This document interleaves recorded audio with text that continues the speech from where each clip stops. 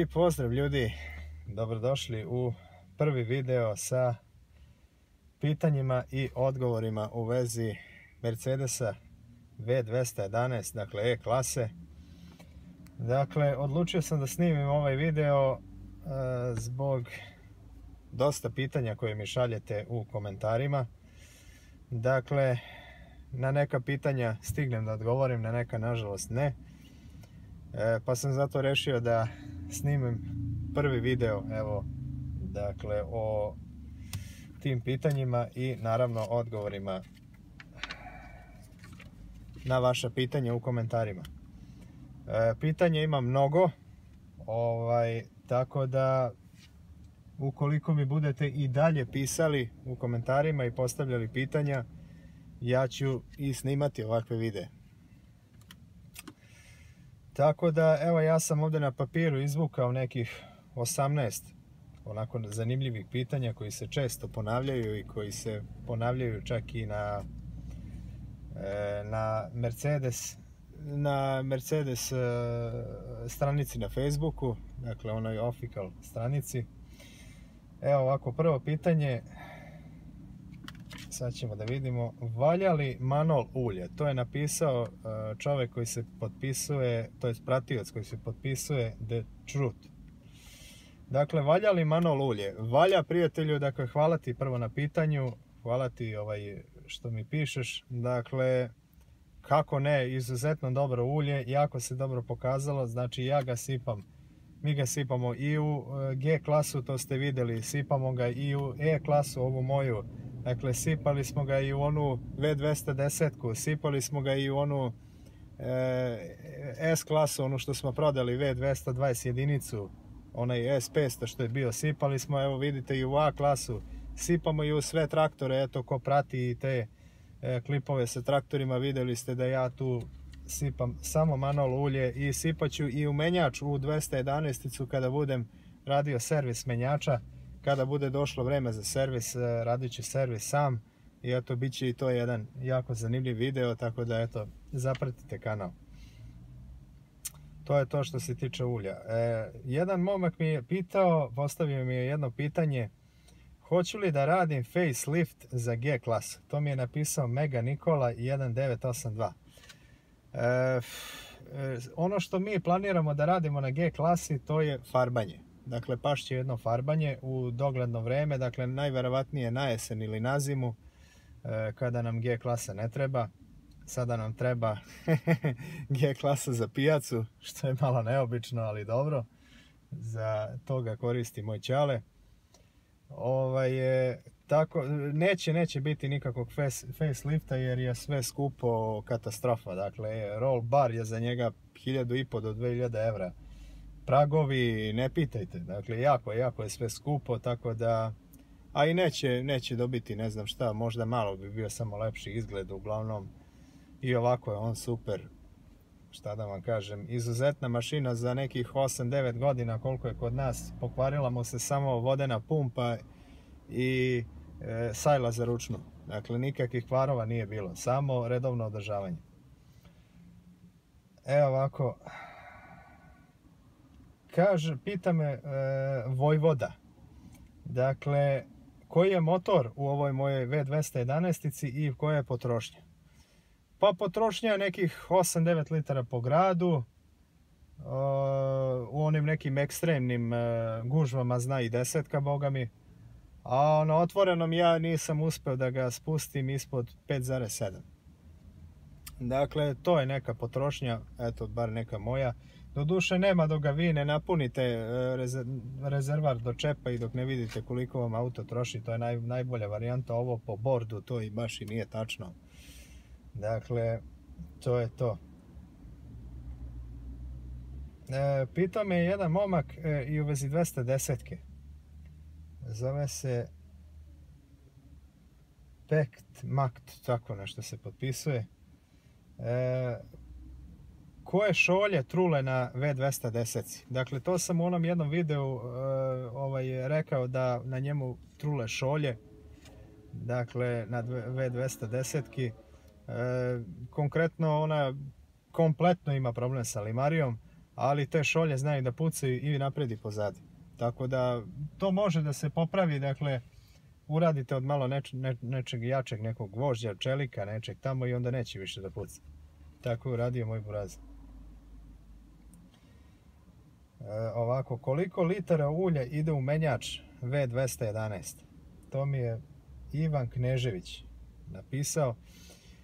Pa, onako po specifikacijama treba da ide 8 litara. E sad, zavisi kako menjaš. Ukoliko ga menjaš mašinski, dakle, preko, sa onom mašinom koja ispere i sistem i sve, e, onda on će da promeni svih 8 litara. Ukoliko ga menjaš a, ručno, sam, dakle ukoliko ispustaš dole na karteru kao što ću ja da radim, onda ide nekih 4 litre. Dakle, ono ostalo ostane tamo u onom e, vandleru. Međutim, ima sad i ona fora da i, iz vandlera možete da ispustite ulje. Dakle, okrećite onaj vandler i obično oni imaju tu jedan šafić koji možete da odvijete direktno na vandleru i da ispustite i iz njega osta, preostalo ulje. Dakle, to neki ima taj šafić, neki nema, šta da se radi. Tako je kako je. E, ovako, česta pitanja u vezi SBC sistema i neki majstor, dakle to su već mnogo bilo pitanja pa nisam zabeležio ko je sve pisao. Dakle, majstor se zove za SBC sistem koji remontuje taj sistem i koji daje garanciju više meseci koliko ja znam, valjda šest meseci, godinu dana, ko se ne varam. Čovjek se zove Branislav Komatina, potražite ga na Facebooku. Kucajte Komatina, Branislav vidjet ćete čovjek crn sa brkovima na slici. Obratite mu se, namestit će vam to. Nije, čovjek je stvarno ovako deluje pouzdano, a vidim da ima i pozitivnih komentara na njegov rad. Što se tiče SBC sistema, bilo je raznih pitanja. E, bilo je onih nekih e, o greškama, pojavljuje im se ona crvena greška sa onim stop da ne sme da se vozi. Dakle, šta da vam kažem, SBC vam je dotrajao, e, ne pump, nema više pritiska. Dakle, pumpa je propala i ona mora da se radi, treba da se zameni ona bomba dole gasna, znači na SBC bloku. I to je to, zavisi koji je kod u pitanju, koji izbacuje koju grešku. E, I naravno, a ukoliko vam je isteklo ono brojilo. Dakle, i tada hoće da vam upali tu grešku. Evo ovako, e, kaže, da li pumpa iz Lidla može da izvuče ulje iz V211? To mi je napisao Milan M. Može, i kako da može. Dakle, bit će video i o tome. Dakle, kada budem radio sljedeći servis, radit ću sa tom pumpom i pokazat ću vam da može.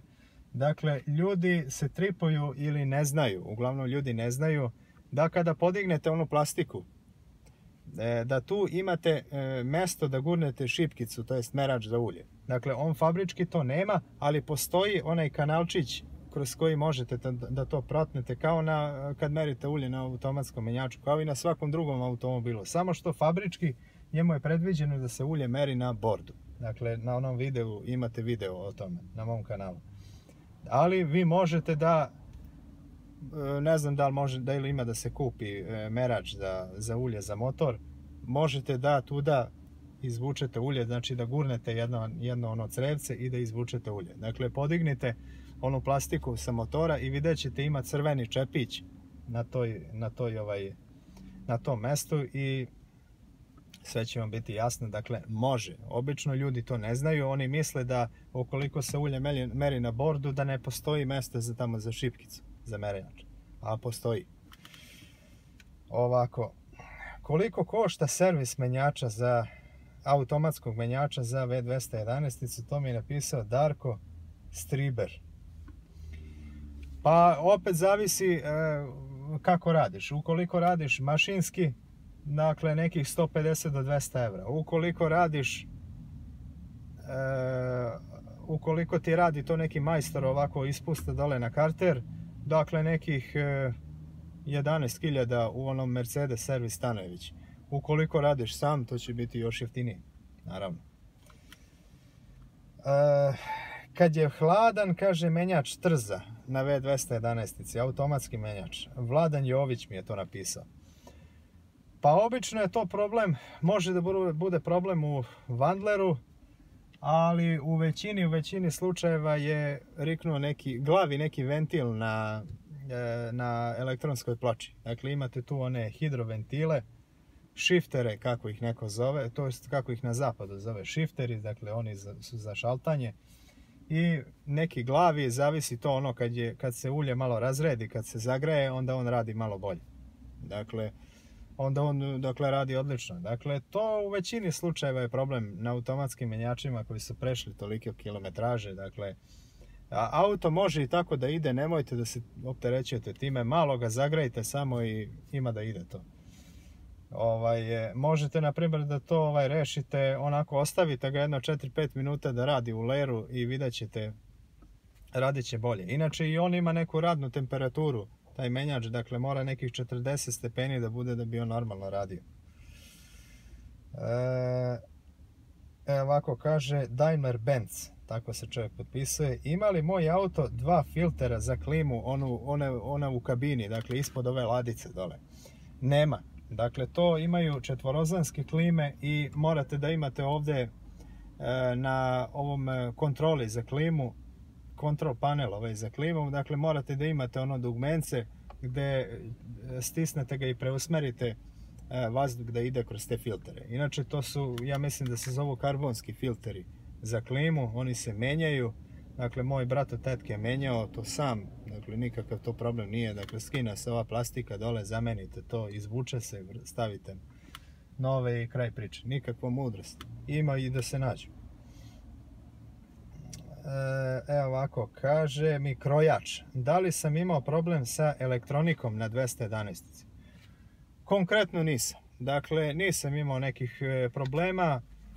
Dakle, imao sam samo jedan problem da mi je negdje auto vukao struju.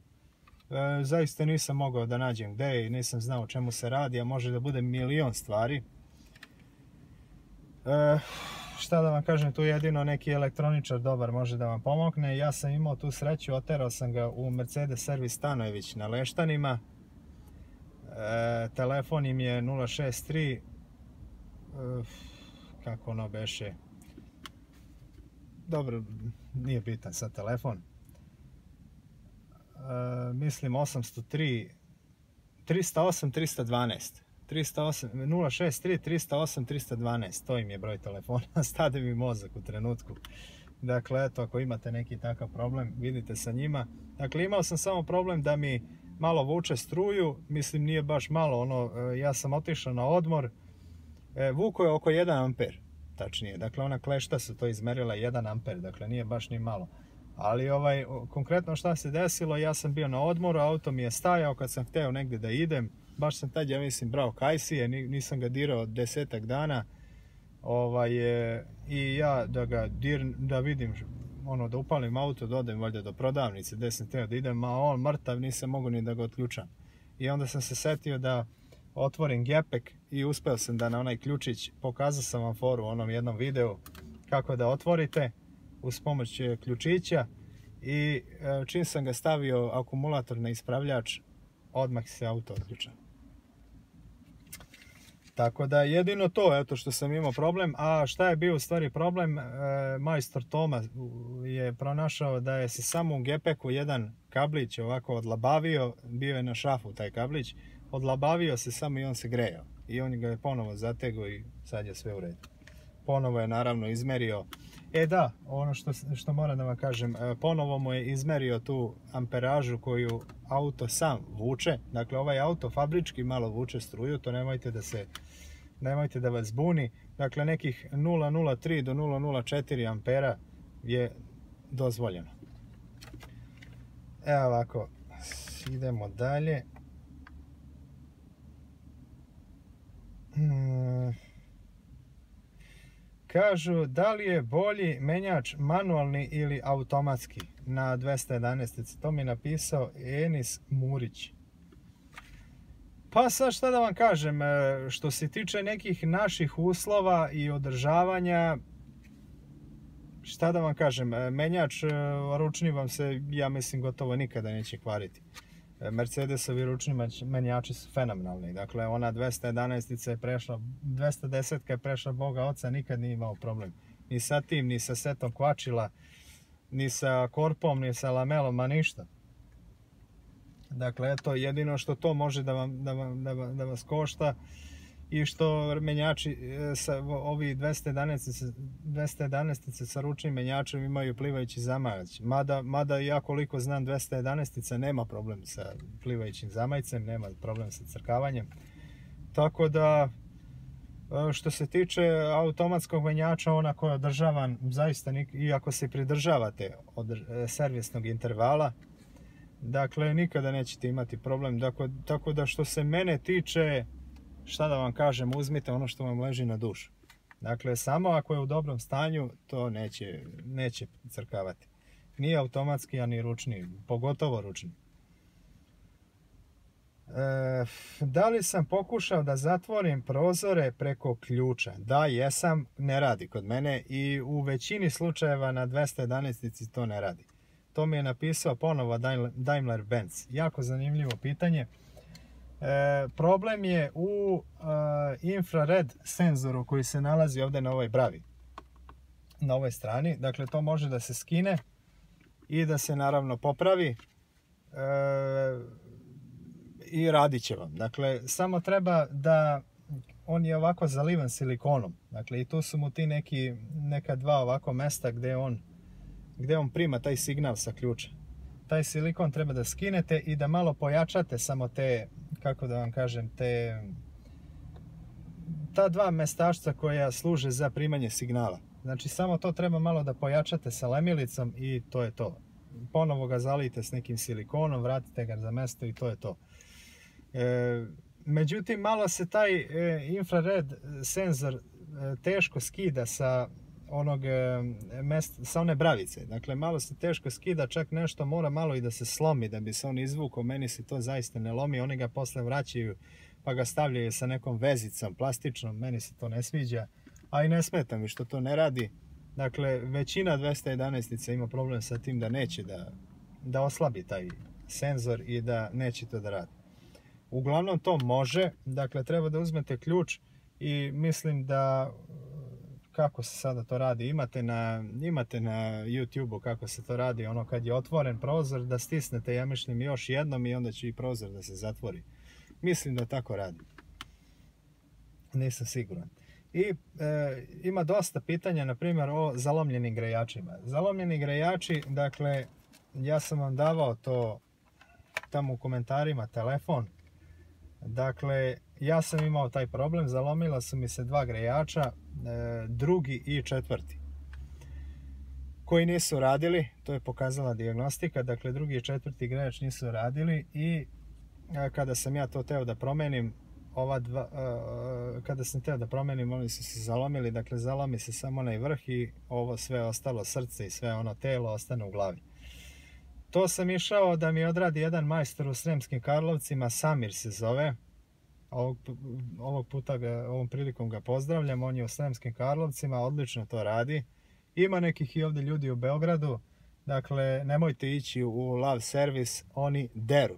Oni, e, čovjek je meni uzeo 70 evra za dva grejača, a ovi u Glass Servisu su htjeli da mi uzmu po 100 evra za oba grejača i plus ako nešto treba da skinu da bi došli do njega. Znači, deru, deru, uradit će vam posao, a će vas odrati, bit će, ma mi uzeli bi vam 250 evra, sigurno.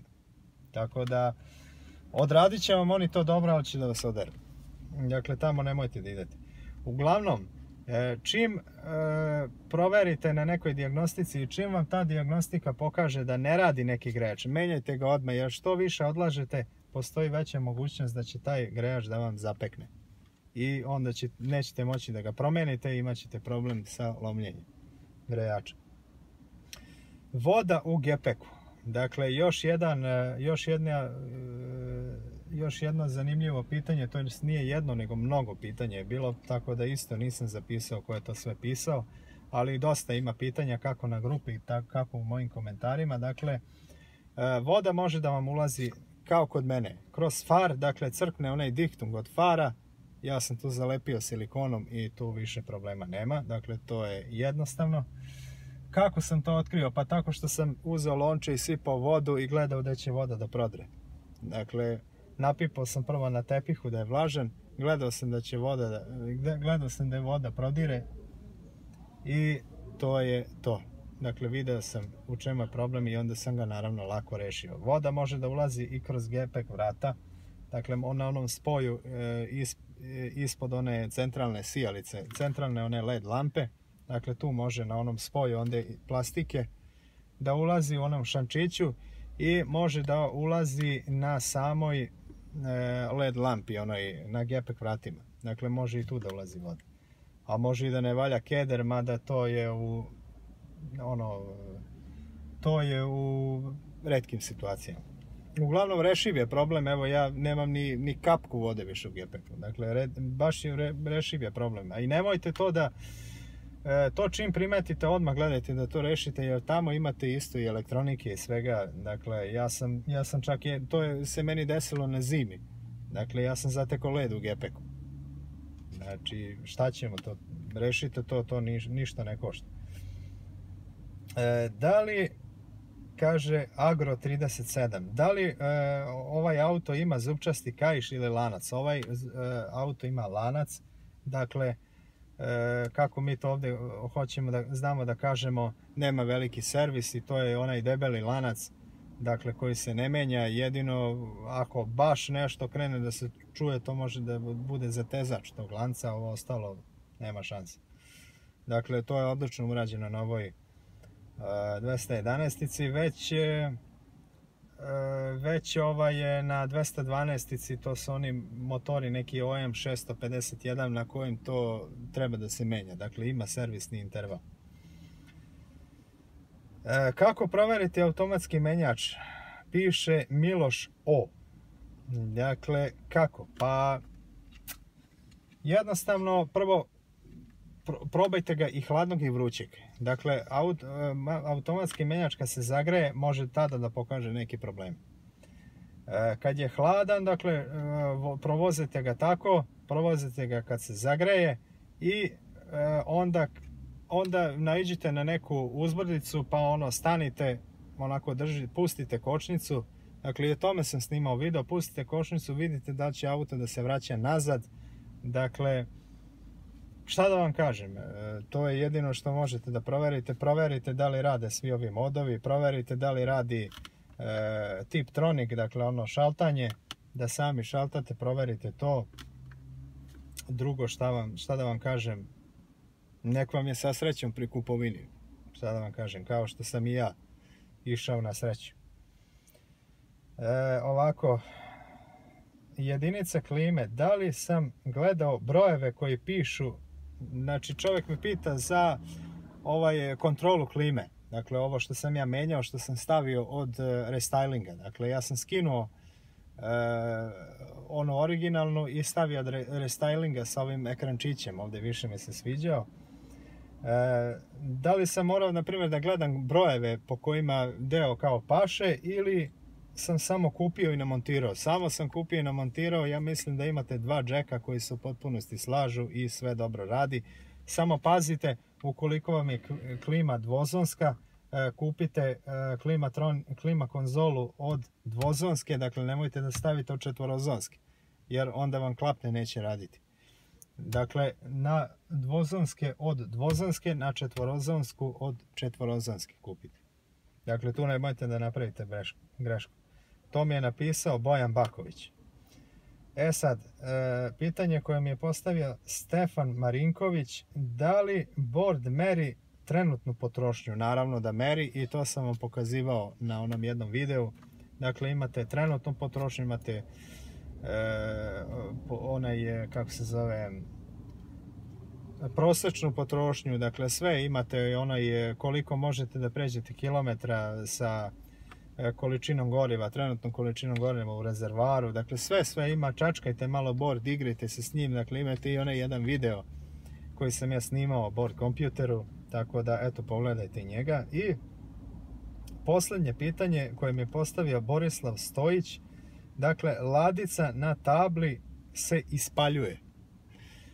E, on nije baš tako to napisao, on je rekao brzo, se, brzo se onako otvara, onako padne mu dole. Dakle ovako, treba da skinete ispod te ladice, ove ovde, na, mislim na ovu najveću ovde ladicu, ili kasetu, kako, kako mi ovde znamo da kažemo. Dakle, kada stisnete ove dugme, ona prosto onako, bam, samo padne onako dole. I taj problem je rešiv. E, dakle, treba da skinete onu plastiku od ozdo. Dakle, ispod table, koja se lako skida, mislim na 4-5 šafova da se drži.